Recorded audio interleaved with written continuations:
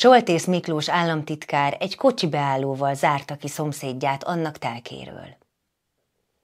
Soltész Miklós a miniszterelnökség egyházi és nemzetiségi kapcsolatokért felelős államtitkára és egyúttal a kisebbik kormánypárt a KDNP alelnöke. A politikus egy kis Pest megyei faluban Budajenőn lakik. Néhány éve megvette az önkormányzattól a háza melletti közút egy részét, 91 négyzetmétert, nagyjából 150 ezer forintért.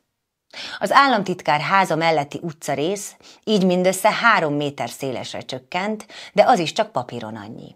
A valóságban a közút megmaradt szakasza nincs három méter széles, ráadásul nagy része egy mély, betonozott árok, szélén nagy fákkal. Ez azért jelent problémát, mert az államtitkár ingatlanja mögötti területet csak innen lehetne megközelíteni.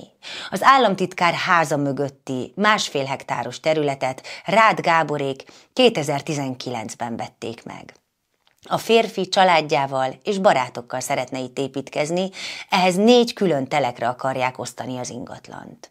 Az önkormányzat által jóváhagyott tervek szerint három telket hátulról fognak megközelíteni autóval, de a negyedikre csak előről a Soltész Miklós háza melletti utcaszakaszról lehet bemenni közúton.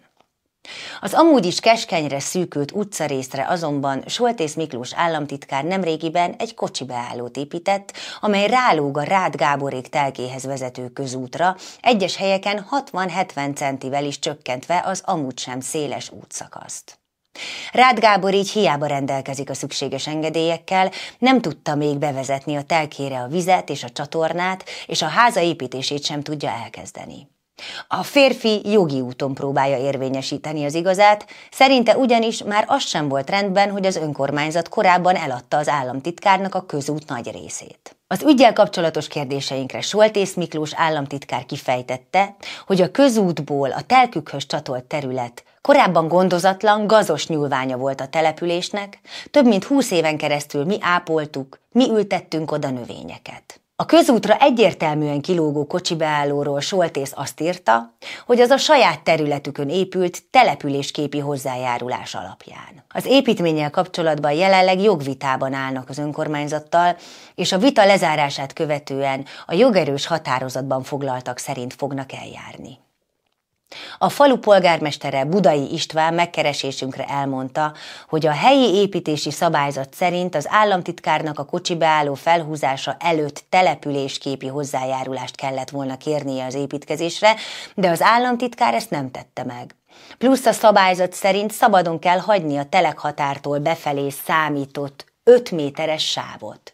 Vagyis a kocsi beálló csak a telek beljebb eső részén állhatna, de Soltész ezt a szabályt sem tartotta be. A polgármester csak az elkészülte után értesült az államtitkári kocsi beállóról, és az államtitkár utólagosan benyújtott kérelmére megadta az engedélyt, mert az építmény nincs központi részen, nem rontja a településképet, és volt már több konfliktus a Soltész Miklóssal, nem akart még egyet.